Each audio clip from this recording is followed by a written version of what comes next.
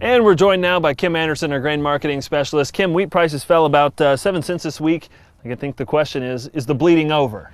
Well, possibly, but I wouldn't bet on it. If, if you look at the wheat market, you know, the March contract, last week I said it had support at 510 if it went below 510, which it did, but it seems to be holding and have support at $5. So next week is critical on the $5. If you're watching the July contract, it had support at 530. It's below 530 and it's closed below 530 for two days. We'll see if it goes on down next week.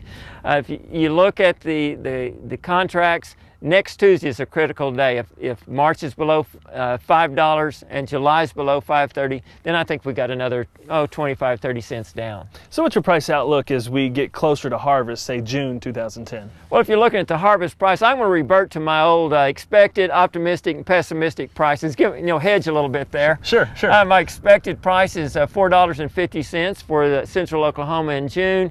Uh, pessimistic, I'd say 375. That means there's about a, oh, less than a 20% chance that prices would go below 375.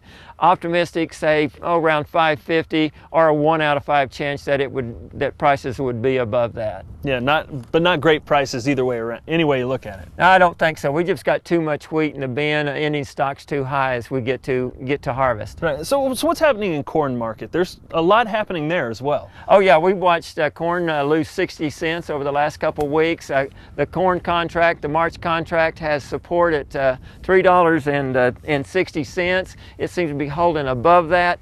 You know, on the report it said uh, corn's ending stocks, they increased it to 1.7 billion bushels. Uh, the market was saying, or the analysts, that we needed another 3 million acres of corn planted this year. Wheat seedings were down 3 million acres. There's your 3 million acres of right. corn.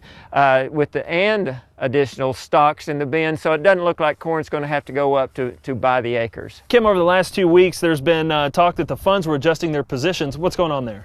Well, if you look at the index funds, by law, they can only buy contracts or hold long positions. Uh, before uh, the end of the year, oil prices had went up. Also, by law, they can only hold uh, so much value of a commodity. Prices had went up. They had to sell their oil uh, contracts. Uh, the, the trade assumed, it, and rightly, that they would come in and buy grains, and so that's what they did. Uh, by the way, they lost $1.1 billion by doing that. Oh, wow. So a lot of money lost. We'll be hoping to get that back soon.